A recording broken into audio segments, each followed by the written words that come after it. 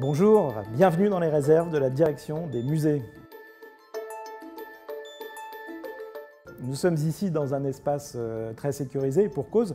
Autour de nous, euh, pas moins de dizaines de milliers d'œuvres, euh, toutes plus ou moins importantes et riches de leur histoire et de leur intérêt scientifique.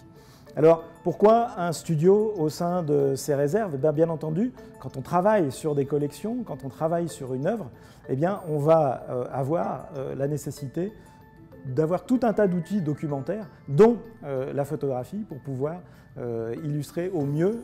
Il y a dans ces collections des œuvres extrêmement variées, euh, qui peuvent aller euh, du petit bijou doré euh, extrêmement fragile et, délicat jusqu'au colosse de marbre d'une sculpture monumentale, qui ont chacune leur particularité. On va aussi avoir bien entendu des peintures, des estampes, des sanguines, tout un tas d'œuvres qui font la richesse de ces collections et le plaisir du photographe qui, au milieu de tout ça, doit adapter en fonction des particularités de ces, de ces œuvres, eh bien, la lumière, euh, afin de la rendre la plus euh, pertinente possible.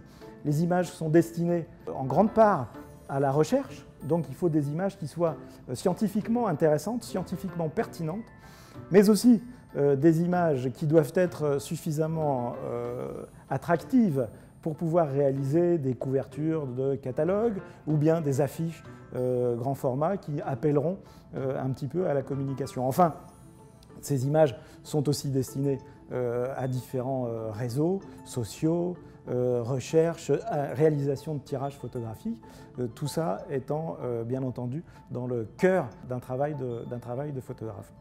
Une fois qu'on a réussi à obtenir la photographie qui nous semble la plus pertinente, il y a un gros gros travail en fait de post-production, ce qu'on appelle la post-production, c'est-à-dire l'équilibrage des couleurs, l'équilibrage des valeurs.